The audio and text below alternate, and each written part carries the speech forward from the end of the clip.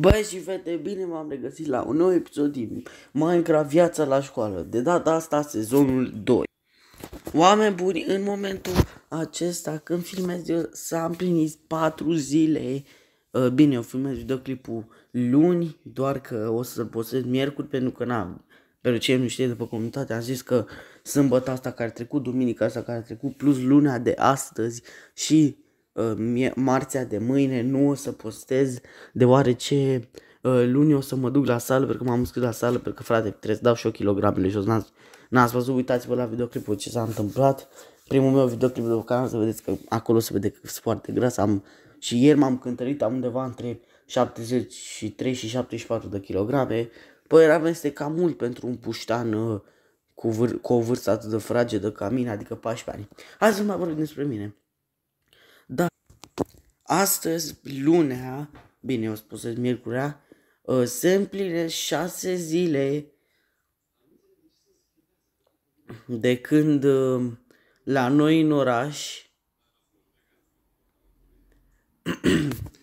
a existat o persoană care răpea copiii.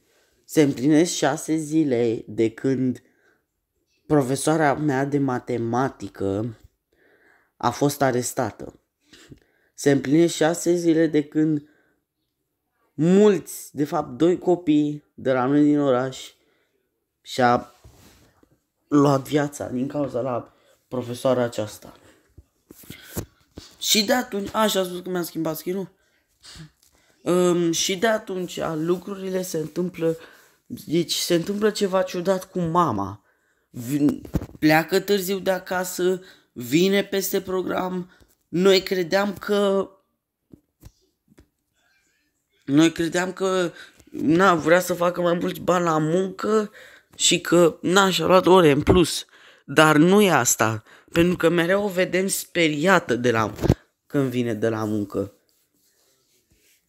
Și noi, eu am un sentiment de fiu că mama ne ascunde ceva.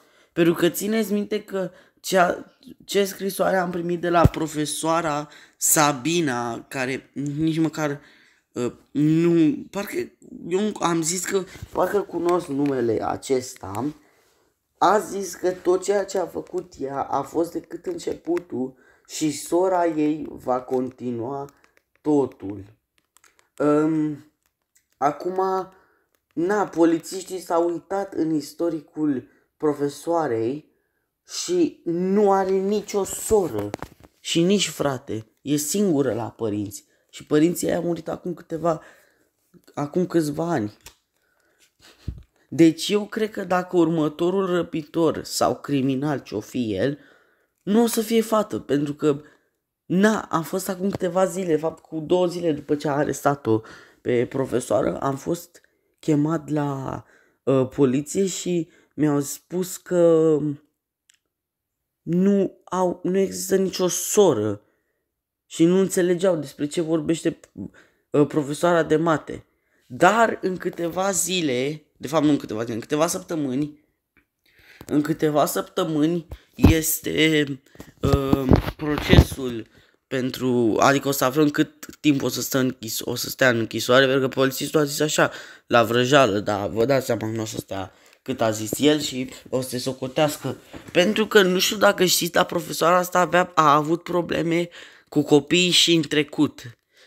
Ei bine, vă dați seama că dacă o să iasă din, din, din, din uh, ia, de la închisoare, vă dați seama că nu o să mai fie lăsată să fie profesoară. Da.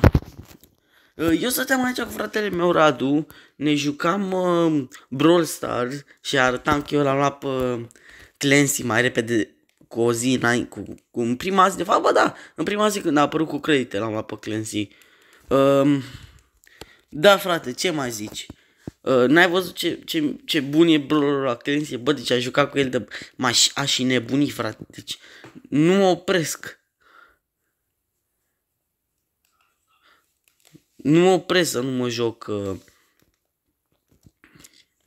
efectiv uh, cu clienții. E prea bun. Frate, este ceasul 9 dimineața. Mama trebuia să ajungă acum vreo 30 de minute acasă. Vedeți, guys, până și Radu mă aprobă. Exact ce v-am zis. Ceva ciudat se întâmplă cu mama. Vine târziu, uh, pleacă, de, pleacă foarte de dimineață. Deci, na, nu, nu înțelegem ce se întâmplă, pentru că sentimentul nostru de fi spune că mama este în pericol. Pentru că știi, na, eu am, eu am o presimțire că sora, în ghilimele de ritual, al profesoarei de matematică, are legătură cu ce se întâmplă cu mama.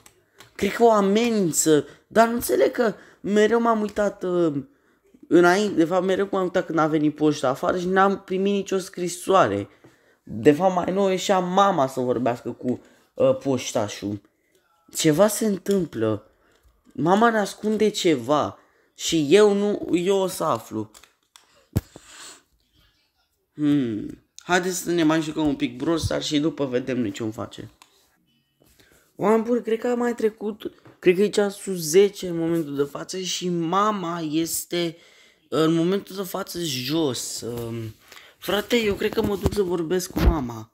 Frate, a venit mama, du-te și vorbește cu ea. Pe asta vreau să fac. Hai că mă duc să vorbesc. Trebuie să aflăm oameni buni, că nu știu ce se întâmplă, mama. Vine obosită, pleacă de noapte. Uh,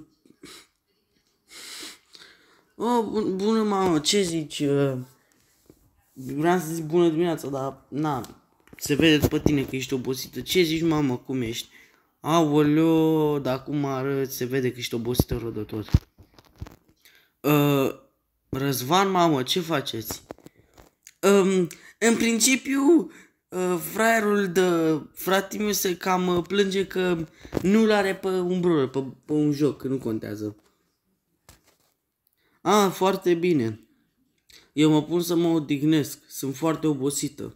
Păi crezi și eu, odată ce te scol la ora 11 seara și vii acasă, trebuia să vii acasă pe la 8. Da, mama, eu înțeleg o chestie. De ce nu schimb jobul de muncă? Adică, n-am muncești prea mult. Până la urmă, ai și facultate. Nu înțeleg de ce muncești la căcatul ăla de, de abator. Oricum te alegi cu decât uh, 3000 de diamante pe lună. E puțin. Într-adevăr ne permitem că chestiile scumpe, dar în viitor o să, o să Na, o să crească prețurile. Mamă, angajează-te undeva. Până la urmă ai o facultate, ai, ai uh, experiență de... Uite, tu te angajează și tu, nu știu...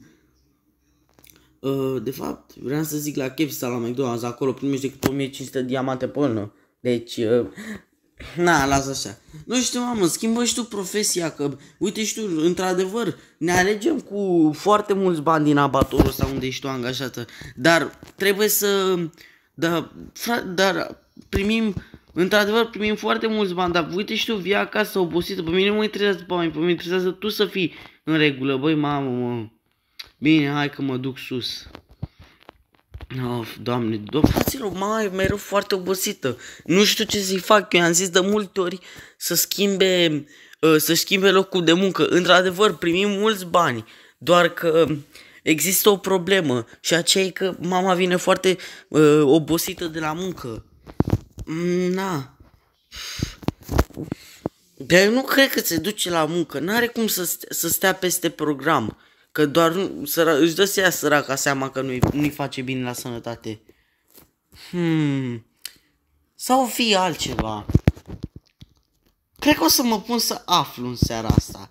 Trebuie să aflu neapărat cine, ce se întâmplă cu mama. Bă, frate, am vorbit cu mama și a zis că o să se ducă... o să se ducă... Să se culce că e foarte obosită. Auzi? Dar ce vreau să zic? Ma, iar am, am aprins, adică iar am aprins discuția că um, am prins foarte, am, re, am băgat din nou un subiect discuția să schimbe jobul de muncă. Și iară s-a auzit că nu aude, nu vede, de parcă ascunde ceva. Frate, știi ceva? În seara asta eu o să urmăresc pe mama și, și și nu-mi pasă ce părere ai tu, că sunt nebun, că sunt... Frate, mama ascunde ceva și trebuie să aflăm ca să știm cum să o ajutăm. Tu o să zici acum 100% că bă, tu ai luat o rază, cum să faci așa ceva? Uh, frate, mama sigur ascunde ceva, o simt, sentimentul meu de, de fiu niciodată nu greșește. Mai știi sentimentul al meu de frate, când uh, am crezut că se întâmplă ceva cu tine, de te-am trezit că ai plecat. A văzut că ai plecat noaptea? Ei, uite că eu te-am salvat acum. Ai luat o razna? Eram sigur să zic asta. Cum să o urmărești pe mama? E clar că este ca orice părinte care muncește pentru copiii ei. Da, frate, dar de dimineață până seara, de fapt de seara până dimineața nu mi se pare normal. Nu mi se pare normal deloc să muncești tan mult.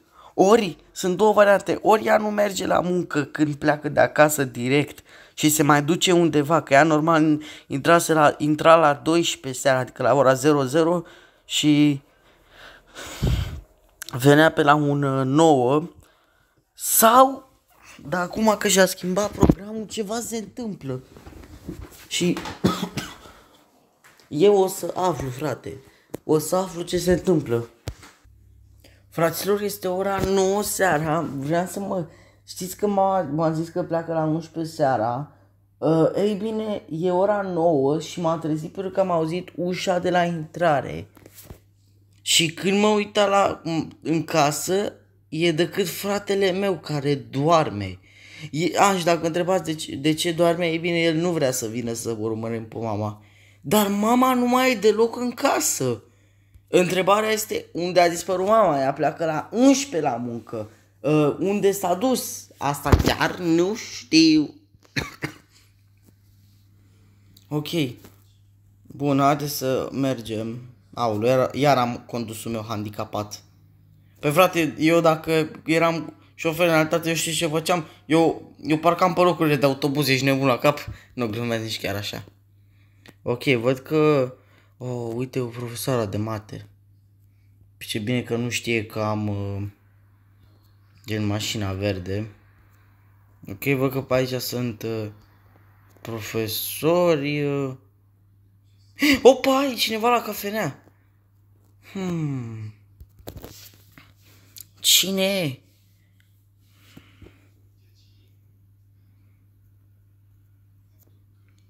E mama! Și cu Cristina Mureșan. Asta e sora profesoarei? Dar nu e, cred că e sora, pentru că e prea tânără, pare de vreo... Cred că are vârsta mea. Hmm... Ceva nu e suspect. Asta nu are, nu are cum să fie sorsa lui, lui profesorul de matematică. Profesorul de matematică are vârsta de 30 ceva de ani și asta arată de, de, e de o vârstă cu mine, 14 ani. Deci mama se întâlnește pe secret cu cineva din familia profesoarei Mureșan, dar nu înțeleg. Nu mi-aduc aminte. Nu pot să mi-aduc aminte. Cine e Sabina Mureșan?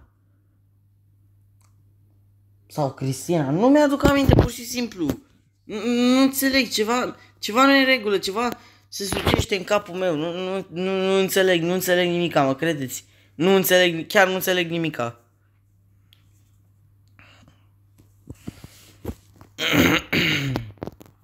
Aș vrea să aflu ce vorbesc, dar n-am poțiune din aia. Cred că mă, mai bine mă duc la magazin să fac rost de ea și după aia mă întorc. Guys, înainte să închid acest episod, vreau să vă fac un mare anunț. Nu mai vreau să vă zic că seriile uh, Viața la școală, șmecheria blocuri, șmecherii blocurilor și evadează din închisoare nu mai au nicio legătură una cu alta, pentru că știți că vreau să fac o serie din asta prima oară cu Viața la școală, după aia cu șmecherii blocuri, după aia cu evadează din închisoare și după aia cu familia FCSB. Ei bine, planul meu s-a schimbat. Pentru că depinde cât o să creștem abonați. La 65 de abonați o să aduc seria șmecherii blocurilor. La 70 de abonați evadează din închisoare. Și la 75 familia FCSB. Și seria Scream o să apară chiar acum la 60 de abonați. A, și vreau să vă zic că filmez uh, sezonul 2, episodul 1, pentru că așa a cerut cineva decât o singură persoană pe comunitate. Uitați-vă și pe comunitate. Postez acolo să votați uh, ce episod, ce videoclip să apară următorul din ce serie. Vreau să vă zic că o să mai pun, dacă văd că în următoarele 3 uh, sau 5, de fapt 5 voturi, o să fie numai uh, episoade din viața la școală, atunci o să lăsăm seria Scream pe un alt uh, pe o altă lună, mă gândesc chiar prin luna septembrie sau ceva de genul, uh, sau ba chiar să înlocuiesc cu altă serie, nu știu. Uh, da, aș sper că vă place skin-ul meu, nu l-am făcut, l-am luat uh, dintr-o aplicație, dar sper că vă place și vreau să vă zic că din păcate seria Scream și evadează din închisoare o să fie pe același oraș, adică orașul ăsta unde filmez viața la școală, pentru că am ceva să instalez vreo șapte orașe și toate au dat fail, efectiv, nu vrea să se încarce pe Minecraft. Și eu mai am, uh, o, mai am, uh, după cum știți voi, uh, un uh, oraș care l-am cumpărat cu bănuți din Minecraft, doar că nu vreau să-l mai folosesc pentru că, na, din păcate nu știu ce naiba s-a întâmplat, mi s-a șters din uh, fișierele jocului. Deci, na. Da, sper că Sper că v-a plăcut episodul, este ora 6 dimineața pentru că eu la 7 dimineața trebuie să plec să-l avertizez pe un prieten că astăzi o să ies târziu. Așa, apropo, m-am înscris la sala de forță, o să vedeți câteva shorturi de acolo, dacă o să apuc să fac, pentru că normal, nu te ții minte, nu prea ai voie să filmezi, uh, short, nu prea ai voie să filmezi pe acolo pe la sală, dar ai, o să încerc cât de cât să, cumva să, na, să pot să filmez. Eu am fost Osman, sau RTV cum mi se spune, și v-am lăsat și na, să aveți o zi frumoasă pe astăzi data de luni și mâine. Eu mâine chiar o să am, o să mă duc la sat dimineață și după aia mă duc la piscină, 29 de grade. Da, să nu credeți că mă laud, doar vă zic, ok? Hai, uh, ceau, vă las!